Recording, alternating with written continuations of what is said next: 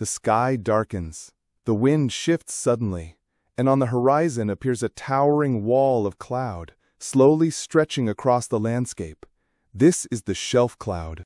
A shelf cloud is a spectacular cloud formation that often signals the arrival of a thunderstorm. It is a low, horizontal formation that looks like a massive, ominous ledge beneath a storm cloud. At times, it resembles a giant wave rolling through the sky, ready to crash down upon the land. But how does such an awe-inspiring sight come to be? The secret lies in the dynamics of the thunderstorm itself.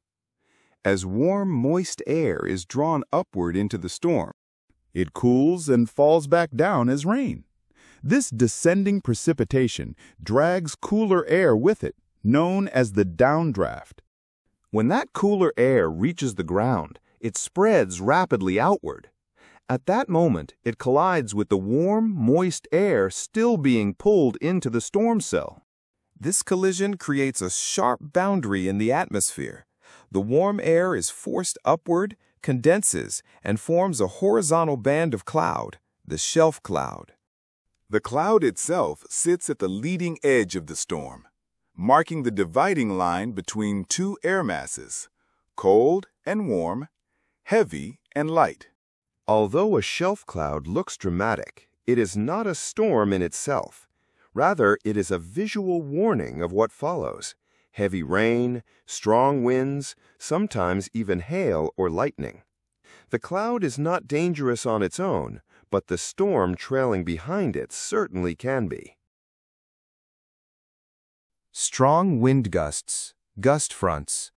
A shelf cloud forms at the leading edge of a thunderstorm, where cold air from the storm spreads outward.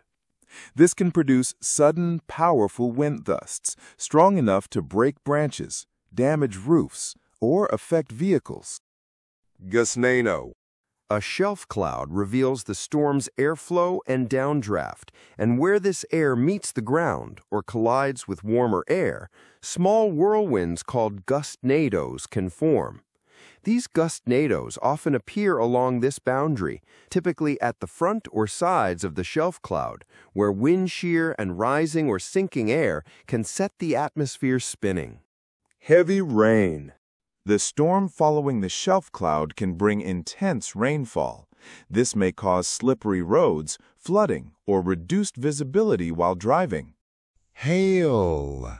Some thunderstorms behind a shelf cloud produce hail, ranging from small to dangerously large. Lightning. Shelf clouds often appear at the front of thunderstorms, increasing the risk of lightning strikes. Wind damage and turbulence for aircraft. The sudden upward and downward air currents near a shelf cloud can be hazardous for small aircraft or drones. The presence of a shelf cloud indicates that strong cold outflow is already occurring, which increases the likelihood of a downburst.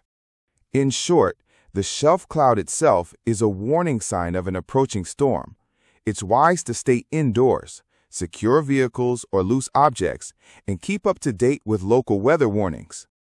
Radar imagery can be used to identify shelf clouds. Radar imagery often shows a thin green line of weaker radar echoes indicating the gust front, which can be associated with the shelf cloud. Shelf clouds are often associated with a solid line of storms known as a squall line, which can be easily identified on radar. The gust front, which can be seen on radar, is the location where the shelf cloud forms. Shelf clouds are a visual indicator of an outflow boundary, which is a boundary between cooler, drier air and warmer, moister air. In essence, radar imagery can help meteorologists identify the conditions that lead to the formation of shelf clouds, particularly the gust front or squall line associated with the storm. A shelf cloud differs from a roll cloud because a roll cloud is completely detached from the base of the thunderstorm or other clouds. Roll clouds are relatively rare. A shelf cloud and a wall cloud are two completely different cloud formations, although both are often associated with severe thunderstorms. Wall cloud is a localized, low-hanging cloud at the rear side of a thunderstorm, usually beneath the mesocyclone of a supercell. It forms as warm, moist air is drawn into the storm and condenses.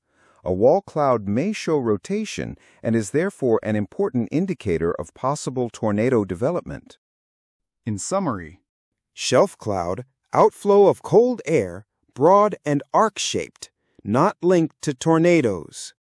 Wall cloud, inflow of warm air, localized and rotating, often a potential precursor to tornadoes. Shelf clouds can be seen all over the world, but they are especially common in summer months. For storm enthusiasts, they are one of the most photogenic cloud formations, dramatic, imposing, and always carrying an air of foreboding. They remind us that the atmosphere is constantly in motion, a battleground of warmth and cold, moisture and wind, power and beauty.